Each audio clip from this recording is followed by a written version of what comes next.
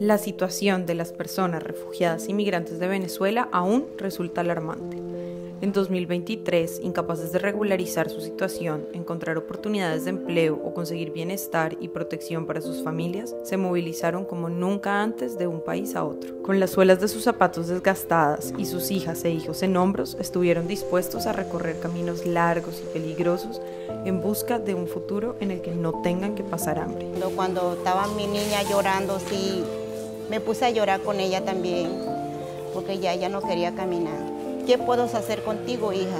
Yo no te voy a dejar, lo cargué a mi hija. ¿Por qué mi hija? Vámonos, hija, con el favor de Dios, vamos a llegar. Quienes se quedaron en países donde les han abierto las puertas luchan por recibir atención médica, tener trabajos decentes y aportar a las comunidades que las han acogido. Yo siempre digo que yo puedo ser en Venezuela ingeniero electricista, pero en Chile no puedo cambiar una ampolleta, como dicen aquí, un bombillo.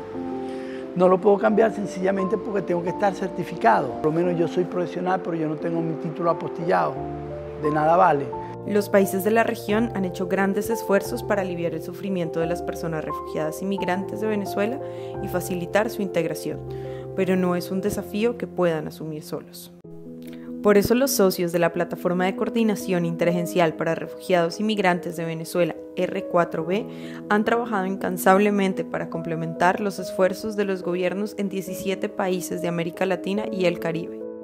Porque por lo menos nos dan un apoyo, nos dan comida, nos dan alojo, dormimos, nos dan aseo personal, podemos bañarnos, a los que tienen hijos le cuidan a los niños. Eso por lo menos para, para mí es mucho. En 2023, los socios de R4B ayudaron a unos 2,2 millones de personas refugiadas y migrantes y a las comunidades de acogida afectadas, mientras que solo recibieron el 22% de los fondos requeridos en el plan de respuesta. Más de 1.2 millones accedieron a alimentos y cerca de un millón fueron protegidas de riesgos que atentaban contra sus vidas y su bienestar. Más de 700.000 han recibido atención o suministros médicos y cerca de 300.000 pudieron tomar agua potable y usar baños dignos. No fue posible atender a millones de personas con necesidades críticas debido a la falta de financiamiento. Debido al aumento de las movilizaciones sucesivas de un país a otro, la asistencia de los socios de R4B a las personas que transitan por la región se duplicó en comparación con el año anterior. Notablemente, en Panamá esta ayuda se multiplicó por 20. Gracias a la asistencia de los socios de R4B, cientos de miles de personas también han logrado encontrar un techo donde dormir, conseguir oportunidades de empleo, acceder a educación, prevenir o tratar la desnutrición de sus hijos e hijas y recibir apoyo para transportarse a lugares donde les ofrecen asesoría legal o donde es más fácil conseguir servicios y productos básicos.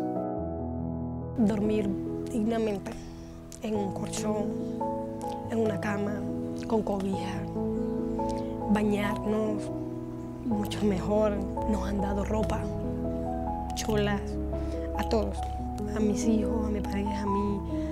Eh, nos han ayudado con, por ejemplo, con el trabajo, con las cosas que pasamos, ¿sabes? A los niños les afecta un poco, a mi hijo le afecta un poco, solo tiene siete años.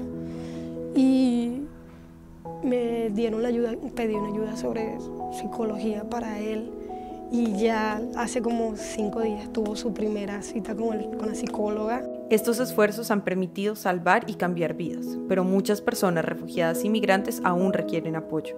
Por esa razón, en 2024, la plataforma R4B seguirá apoyando a las personas refugiadas y migrantes, así como a las comunidades de acogida afectadas y a los gobiernos. El compromiso de la comunidad internacional continúa siendo crucial. Los fondos aún son insuficientes para atender millones de personas vulnerables que buscan sobrevivir y rehacer sus vidas.